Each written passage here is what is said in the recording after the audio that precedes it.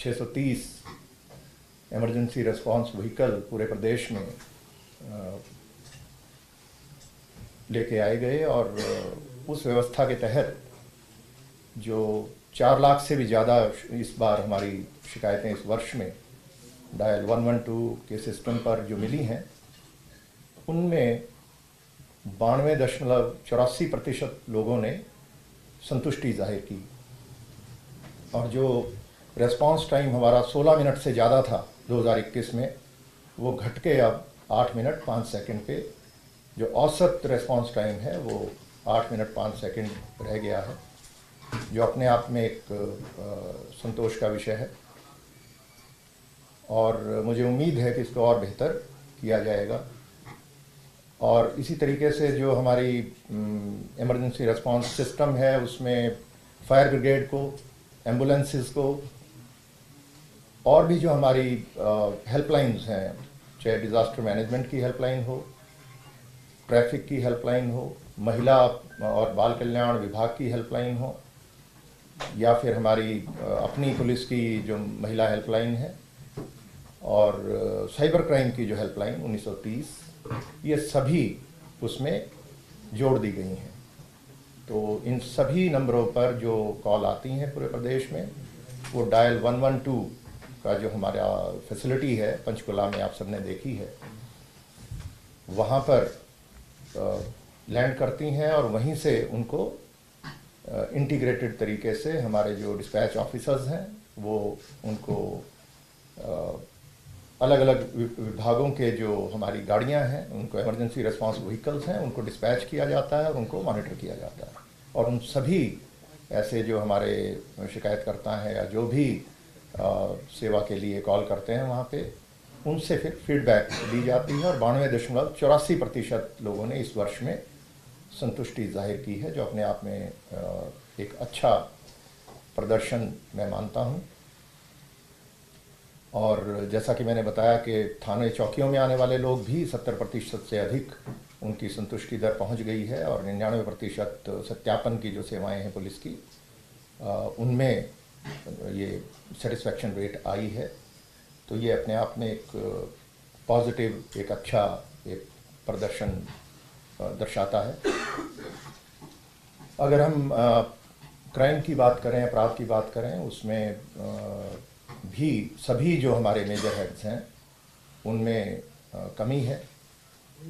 चाहे वो डकैती का हेड हो या कोई लूटमार छीना झपटी या महिलाओं के विरुद्ध अपराध हैं, सभी में सात से लेकर तीस प्रतिशत तक की अलग अलग इसमें गिरावट दर्ज की गई है। हालाँकि आंकड़ों के आधार पर कोई भी परफॉर्मेंस अपराध के आंकड़े अपने आप में पर्याप्त नहीं होते। और जैसा कि आप सभी एनसीआरबी की जो क्राइम इन डेटा की, की किताब है उसके ऊपर आप काफ़ी कवर करते हैं। तो उसी में ये लिखा रहता है कि भाई क्राइम रेट जो आंकड़े हैं वो अपने आप में पर्याप्त नहीं होते और उसके लिए बहुत सारे और चीज़ें हैं जिनको ध्यान में रखकर ही इस पर कोई भी विश्लेषण किया जा सकता है। लेकिन अगर मात्र सिर्फ़ आंकड़ों की बात करें तो उनमें भी गिरावट दर्ज की गई है, जैसा कि मैंने आपको बताया। एक बड़ा मुद्दा हमने अगस्त में बात की थी, महिलाओं के विरुद्ध जो, महिलाओं की सुरक्षा के बारे में। ये एक हमारी बड़ी प्राथमिकता है। तो महिलाओं की, इस इस दिशा में हमने प्रयास किए। और एक प्रयास था कि भी सभी जो हमारे ऑटो रिक्शा हैं ई रिक्शा हैं और जो जो जो पब्लिक ट्रांसपोर्ट में इस्तेमाल होते हैं प्राइवेट वाहन, इनका डेटाबेस बनाया जाए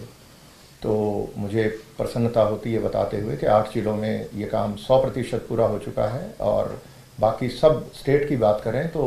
करीब इकहत्तर प्रतिशत डेटाबेस बनकर तैयार हो चुका है और वो डेटाबेस अब हमारे 112 का जो सिस्टम है, उनको मुहैया करा दिया गया है।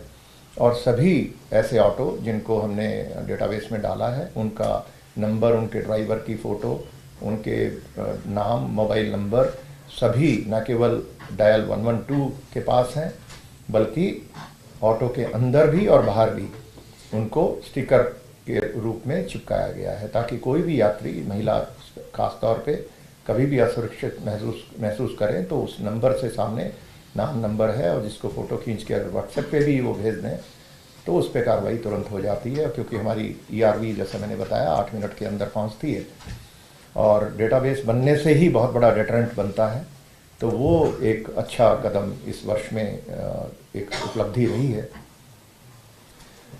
इसी प्रकार से एक दूसरा जो एक अभियान था कि क्राइम अगेंस्ट वीमेन के जो हमारे ऐसे हॉटस्पॉट्स हैं, जहाँ पे महिलाओं के साथ कोई भी अभद्र व्यवहार या किसी किस्म की छेड़छाड़ का रिपोर्ट होती हैं, ऐसे सभी पॉइंट्स को चिन्हित करके वहाँ पे उनको सीसीटीवी कैमरे लगाना और उनको पुलिस की प्रेजेंस वहाँ सुनिश्चित करना। तो ऐसे बड़ी तादाद में सभी ज़िलों ने अपना काम किया है और इसको अब नेक्स्ट लेवल पे ले जाने के लिए हमने सभी ज़िलों में चार चार महिला पुलिसकर्मियों की एक टीम बनाई। और वो टीम की स्पेशलाइज्ड उसकी जो महिला विशेषज्ञ हैं, उनसे ट्रेनिंग कराई गई है। और उन, ये टीमें जो स्कूल हैं कॉलेजेस हैं, जहाँ लड़कियाँ पढ़ती हैं, और जो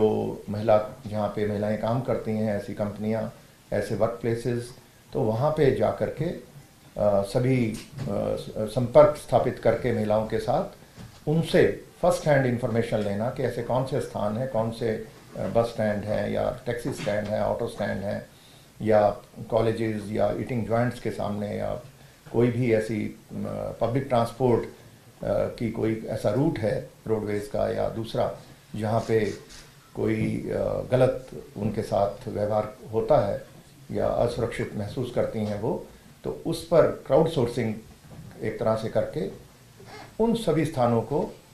सुरक्षित सिक्योर करना।